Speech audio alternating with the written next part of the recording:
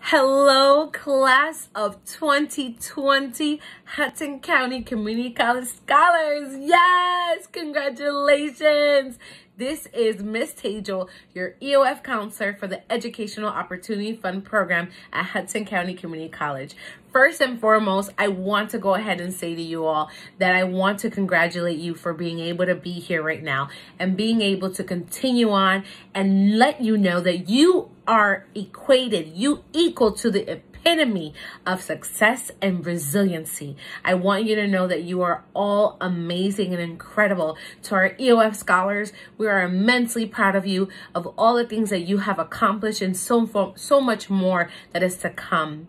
For all Hudson County Community College scholars of class of 2020, I want you also remember that no matter where you're going next, no matter what university or college or what journey, you have going on for you next. May you know that you have so much ahead of you.